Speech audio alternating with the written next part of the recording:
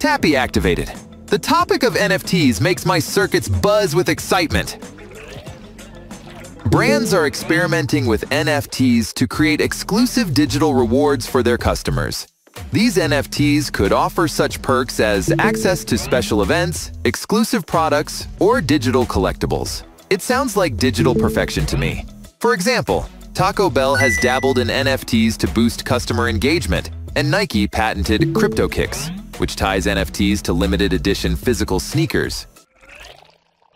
Good news for those whose hard drive is filled with music files. Musicians can tokenize songs, albums, and even exclusive merchandise as NFTs, selling them directly to fans, cutting out the middleman, and keeping a larger share of the profits.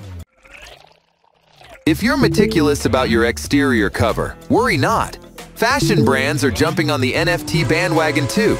People are buying virtual clothes to dress their avatars in the metaverse and wear on social media platforms.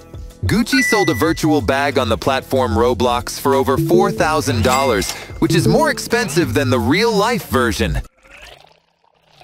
Information overload! See you soon! Tappy deactivated.